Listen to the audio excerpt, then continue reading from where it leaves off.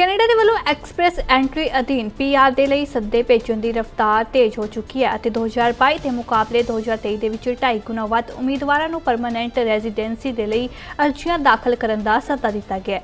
ਦੂਜੇ ਪਾਸੇ ਇਮੀਗ੍ਰੇਸ਼ਨ ਵਿਭਾਗ ਦੇ ਕੋਲ ਪੁੱਜੀਆਂ 4,88,000 ਤੋਂ ਵੱਧ ਵੀਜ਼ਾ ਅਰਜ਼ੀਆਂ ਦੇ ਵਿੱਚੋਂ ਤਕਰੀਬਨ 1,85,000 ਰੱਦ ਕਰ ਦਿੱਤੀਆਂ ਗਈਆਂ ਨੇ ਕੈਨੇਡਾ ਨੇ ਐਕਸਪ੍ਰੈਸ ਐਂਟਰੀ ਅਧੀਨ ਪਰਮਨੈਂਟ ਰੈਜ਼ੀਡੈਂਸੀ ਸੱਦੇ ਜਾਰੀ ਕਰਨ ਦੀ ਪ੍ਰਕਿਰਿਆ ਦੇ ਵਿੱਚ 2023 ਦੇ ਵਿੱਚ ਵੱਡੀ ਤੇਜ਼ੀ ਦਿਖਾਈ ਹੈ 2022 ਦੇ ਮੁਕਾਬਲੇ 2023 ਦੇ ਵਿੱਚ ਇਹ ਗਿਣਤੀ 2.5 ਗੁਣਾ ਵੱਧ ਗਈ ਹੈ ਤੇ ਐਕਸਪ੍ਰੈਸ ਐਂਟਰੀ ਦੇ ਅਧੀਨ 2022 ਦੇ ਵਿੱਚ 40539 ਪੀਆਰ ਦੇ ਸੱਦੇ ਭੇਜੇ ਗਏ ਅਤੇ 2023 ਦੇ ਵਿੱਚ ਇਹ ਅੰਕੜਾ 136 ਫੀਸਦੀ ਵੱਧ ਗਿਆ ਅਤੇ 110226 ਜਣਿਆਂ ਨੂੰ ਪਰਮਾਨੈਂਟ ਰੈਜ਼ੀਡੈਂਸੀ ਦਾ ਸੱਦਾ ਦਿੱਤਾ ਗਿਆ।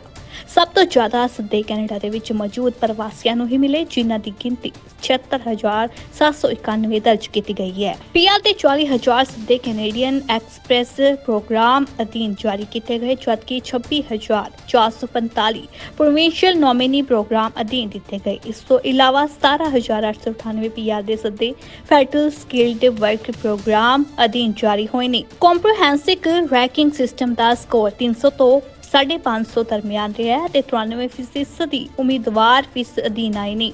ਅਤੇ ਔਸਤ ਸਕੋਰ 500 ਤੋਂ ਟੱਪਣਾ ਨਜ਼ਰ ਆਇਆ ਤੇ ਵੱਡੀ ਗਿਣਤੀ ਵਿੱਚ ਪੰਜਾਬੀ ਵਿਦਿਆਰਥੀ ਲੱਖ ਯਤਨਾਂ ਦੇ ਬਾਵਜੂਦ ਪੀਆਰ ਦਾ ਸੱਦਾ ਨਹੀਂ ਮਿਲ ਸਕਿਆ ਤੇ ਕੰਪਿਊਟਰ, ਟੈਕ ਸੈਕਟਰ ਅਤੇ ਫਾਈਨਾਂਸ ਸੈਕਟਰ ਦੇ ਵਿੱਚ ਸਭ ਤੋਂ ਵੱਧ ਪੀਆਰ ਦੇ ਸੱਦੇ ਦਿੱਤੇ ਗਏ ਨੇ।